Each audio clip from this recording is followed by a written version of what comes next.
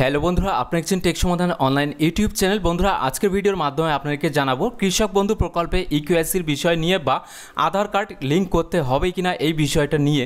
তো ইতিমধ্যে আপনারা পোর্টালে যখনই কৃষক বন্ধু ডট নেট ওয়েবসাইটে এসে নথিভুক্ত কৃষকের তথ্য, ওই অপশানে ক্লিক করে আপনার ভোটার কার্ড নাম্বার এবং ক্যাপচা ভেরিফাই করে যখন সাবমিটে ক্লিক করছেন, তখন কিন্তু নতুন একটি রেজাল্ট বা নতুন একটি অপশান কিন্তু শো হচ্ছে, সেটা হচ্ছে আধার কার্ড তো আধার কার্ড নাম্বার সেখানে কিন্তু অনেকের এন্ট্রি হয়ে আছে, অনেকের কিন্তু সেই আধার কার্ড নাম্বারের জায়গাটাতে ব্ল্যাঙ্ক হয়ে আছে। তো এই ক্ষেত্রে অনেকে কিন্তু কনফিউজড হয়ে আছেন, বিশেষ করে যাদের ক্ষেত্রে সেই জায়গাতে ব্ল্যাঙ্ক আছে বা আধার কার্ডের নাম্বারটি নেই। তারা কিন্তু এমনটাই ভাবছেন যে, আমার পরবর্তী যে কিস্তি আছে সেই টাকাটা আমি পাবো কি না? তো এই বিষয়গুলো নিয়ে আজকের ভিডিওর মাধ্যমে আপনাকে জানাব।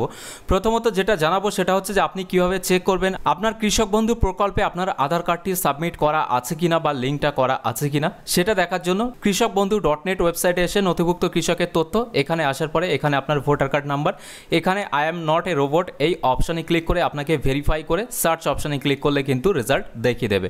তো আমি কয়েকটি রেজাল্ট আপনাকে দেখাবো। তো অন স্ক্রিনে আপনারা দেখতেই পাচ্ছেন ফার্স্ট যে রেজাল্টটা এখানে শো হচ্ছে, সেটা হচ্ছে যে এখানে অ্যাকনোলজমেন্ট আইডি কৃষকের, তারপরে কৃষক বন্ধু আইডি এখানে সেই কৃষকের যে আধার নাম্বার সেটা এখানে শো হবে। এরপরে ওই কৃষকের যে নাম, সেটা এখানে দেখাবে ডিস্ট্রিক্ট ব্লক এগুলো দেখাবে। কতটা জমি, সেটাও এখানে দেখাবে স্ট্যাটাস অ্যাপ্রুভ দেখাচ্ছে। এবং ট্রানজ্যাকশন স্ট্যাটাস অ্যাকাউন্ট ভ্যালিড বা এটা সাকসেস হয়ে গেছে। তো এখানে কিন্তু আপনারা ইতিমধ্যে সাতাশে জুন যেহেতু টাকা দেওয়া হয়েছে সবার, আঠাশ বা উনত্রিশ তারিখের মধ্যে অলমোস্ট সবার অ্যাকাউন্টে টাকাটাই চলে এসছে। যাদের ক্ষেত্রে অ্যাপ্লিকেশনে কোনো রকম কোনো প্রবলেম নেই, কোনো রিজেকশন নেই বা কোনো পেন্ডিং নেই কিংবা ব্যাঙ্ক অ্যাকাউন্ট ভ্যালিডেশনে কোনো এরর বা ব্যাঙ্ক অ্যাকাউন্ট সব কিছু ঠিকঠাক দেয়া আছে বা ছিল, সেই ক্ষেত্রে সবাই কিন্তু মোটামুটি কৃষক বন্ধু প্রকল্পে টাকাটি ইতিমধ্যে পেয়েছেন।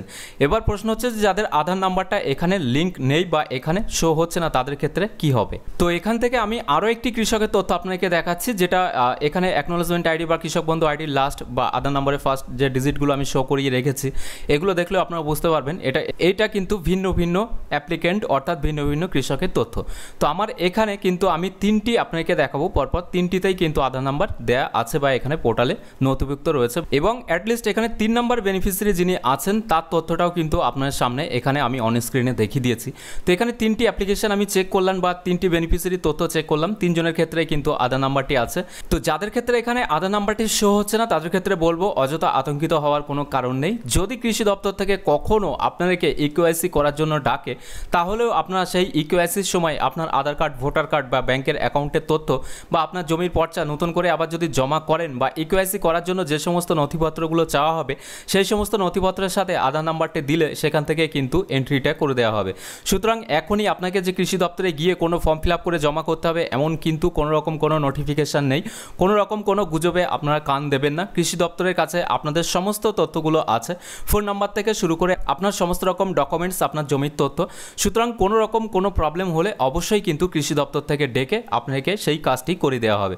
সুতরাং অযথা আতঙ্কিত হওয়ার কোনো কারণ নেই এই বিষয়টা নিয়ে। যদি এই আধার নাম্বারটি যুক্ত না থাকার ফলে আপনার অ্যাকাউন্টে টাকা না আসে বা আপনাকে টাকা না দেওয়া হয়, পরবর্তী কিস্তির টাকা, সেক্ষেত্রে অবশ্যই কিন্তু গভর্নমেন্ট থেকে আপনাকে এস এর মাধ্যমে কিংবা কল করে জানিয়ে দেওয়া হবে বা সেরকম কোনো সরকারি বিজ্ঞপ্তি নিশ্চয়ই বের করবেন যে যাদের ক্ষেত্রে আধার নাম্বার এখানে শো হচ্ছে না বা আধার লিঙ্কটি করতে হবে, না হলে আপনারা টাকাটি পাবেন না, অবশ্যই কিন্তু আপনার নোটিফিকেশান পেয়ে যাবেন গভর্নমেন্টের তরফ থেকে।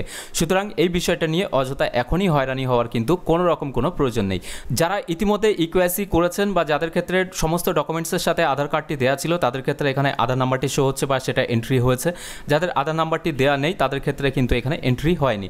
সুতরাং আপনারা ওয়েট করুন, অবশ্যই আপনাকে কিন্তু কৃষি দপ্তর থেকে ডেকে নেওয়া হবে। যদি ইকুয়াসিটা অবশ্যই ম্যান্ডেটারি হয়, তাহলে কিন্তু কৃষি দপ্তর থেকে সেটা আপনাকে ডেকে নেওয়া হবে।